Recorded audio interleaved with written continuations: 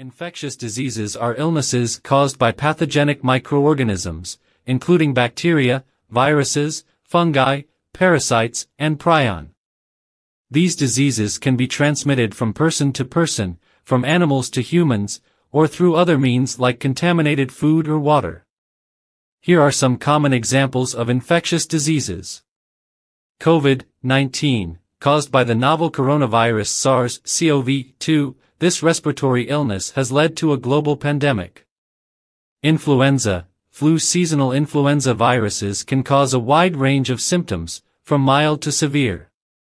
Tuberculosis, TB a bacterial infection caused by Mycobacterium tuberculosis, which primarily affects the lungs. HIV, AIDS, the human immunodeficiency virus, HIV, weakens the immune system, leading to acquired immunodeficiency syndrome, AIDS. Malaria, a parasitic disease transmitted through the bite of infected mosquitoes, causing symptoms such as fever and chills. Hepatitis, several viruses, e.g., hepatitis A, B, and C, can cause liver inflammation and disease. Cholera, a bacterial infection transmitted through contaminated water and food, leading to severe diarrhea and dehydration. Zika virus, transmitted by Aedes mosquitoes, this virus can cause birth defects if contracted during pregnancy.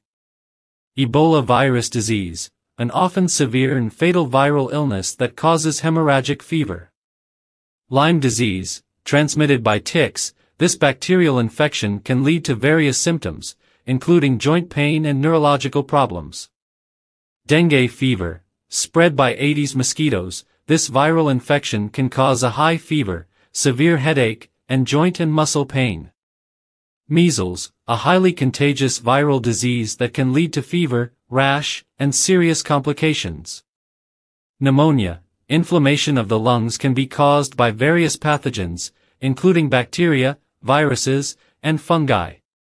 Gonorrhea, a sexually transmitted bacterial infection that can lead to various health complications. Syphilis, another sexually transmitted bacterial infection that progresses through stages if left untreated. Chickenpox, varicella a highly contagious viral infection, especially common in children. Norovirus infection, a common cause of foodborne illness, leading to symptoms like vomiting and diarrhea.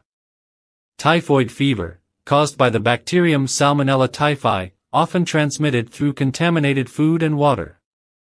It's important to note that infectious diseases can vary in their modes of transmission, symptoms, severity, and treatments.